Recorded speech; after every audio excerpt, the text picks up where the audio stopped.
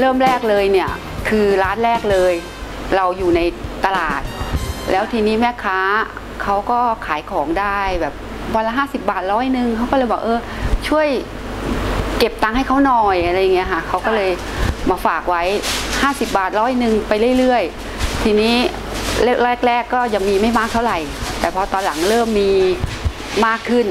เราก็เลยเออทำให้เป็นรูปแบบเต็มตัวขึ้นมาอะค่ะก็เลยเกิดโครงการอันนี้ขึ้นมา ทีนี้พอคน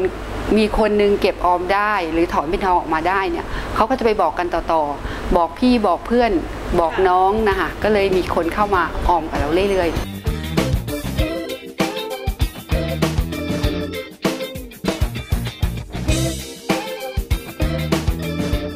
ดีใจนะคะดีใจดีใจมาก เพราะว่าบางคนเจอเราเนี่ยก็เข้ามาบอกเลยว่า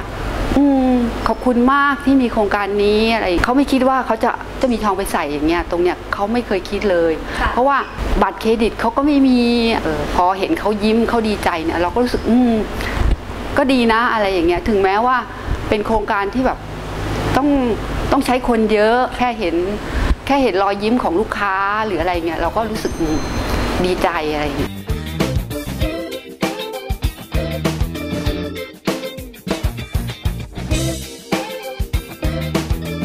เพียงแค่เดินเข้ามาที่ร้านถือบัตรประชาชนใบเดียวมานี่แหละค่ะแล้วก็บอกน้องๆพนักงาน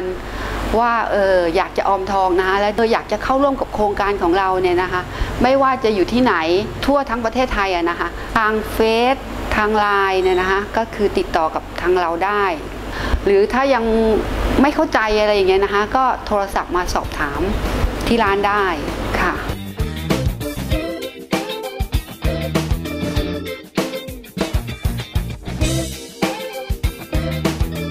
คืออยากให้ทุกคนนะนะคะเห็นความสำคัญของการเก็บออม คุณคิดแค่ว่าเออตั้งใจว่าวันนี้ฉันจะเก็บออมแล้วนะ โดยผ่านโครงการของที่ร้านก็ได้ หรือว่าคุณจะเก็บออม หยอดกระปุกอยู่ที่บ้านก็ได้ หวังอยากมีก็รู้สึกว่าเออ ได้เป็นคนที่จุดประกาย